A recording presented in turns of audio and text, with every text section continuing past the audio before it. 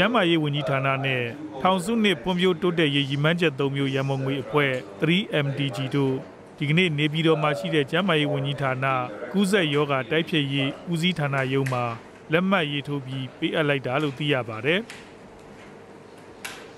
drug resistant TB နော် MDR TB နော်ဆေးရမှာ TB ရောပါကျွန်တော်တို့ပါပွဲကုသဖို့အဓိကရှိနေတာပါ အဓိကကျွန်တော်တို့ဆောင်ရွက်မယ့်နေရာကတော့ရန်ကုန်တိုင်းရဲ့မန္တလေးတိုင်းရဲ့ပေါ့အဲဒီမှာကျွန်တော်တို့ 3MG funding support ကစုစုပေါင်း17တာသမဒေတာပေါ့နော်အဲဒါတော့ကျွန်တော်တို့ရည်ရွယ်တာကတော့ဆေးရမှာ TB တွေက2000နော်ဆေးရမှာ TB တွေက2000ကုသမှုပြုမြန်မာနိုင်ငံမှာအဓိကမြို့ကြီးနှမျိုးဖြစ်တဲ့ ရန်ကုန်နဲ့မန္တလေးက TB ရောဂါဖြစ်ပွားမှုအများဆုံးဖြစ်တယ်လို့လည်းသိရပါတယ် ရန်ကုန်နဲ့မန္တလေးนี่ကျွန်တော်တို့ TB ရောဂါမှာเนาะဖြစ်ပွားမှုအများဆုံးเนาะကျွန်တော်တို့ prevalence ပေါ့ TB burden ပေါ့နော် TB ရောဂါ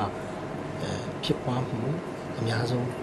နေရာတွေလို့ကျွန်တော်ပြောလို့အထူးသဖြင့်ရန်ကုန်တိုင်းเนาะရန်ကုန်တိုင်းဒီကျွန်တော်တို့အဓိက target ထားတယ်အဲဒါကြောင့်မလို့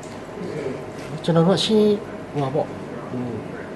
ဟိုပါပို့ပြီးနားလည်အောင်ပြောရမယ်ဆိုလို့ရှိရင်ရန်ကုန်တိုင်းရဲ့ရန်ကုန်တိုင်းမှာကိုကိုကျွန်းအပါဝင်45ရှိတယ်ကိုကိုကျွန်းဖယ်လိုက်နော်44မိနစ်နော်အဲ့တော့ကျွန်တော်တို့ရဲ့ဒီ data ကိန်းဂဏန်းတွေကြည့်လိုက်တဲ့အခါမှာနှစ်စဉ်နှစ်စဉ်ရန်ကုန်တိုင်းကြီးဖြစ်ပေါင်းမှုအများဆုံးဖြစ်တယ်ရိုးရိုးတီတီနော်ကျွန်တော်ဆေးမှတီအဲ့တော့ရိုးရိုးတီတီနဲ့တွဲပြီးတော့ခုနဆေးမှတီဖြစ်လာတာနော်ခုနဆေး။ ထောင်စုနှစ်ဖွံ့ဖြိုးတိုးတက်ရေးရည်မှန်းချက်၃မျိုးရန်ပုံငွေအဖွဲ့ 3MDG က2012ခုနှစ်ကနေပြီး2016ခုနှစ်အထိမြန်မာနိုင်ငံမှာကလေးသေဆုံးမှုနှုန်းလျှော့ချရန်မိခင်တွေရဲ့ကျန်းမာရေးတိုးတက်ကောင်းမွန်ရန် HIV, TB နဲ့ငှက်ဖျားရောဂါတိုက်ဖျက်ရေးအတွက်အမေရိကန်ဒေါ်လာ334သန်းထောက်ပံ့သွားမှာဖြစ်ကြောင်းသိရပါတယ်။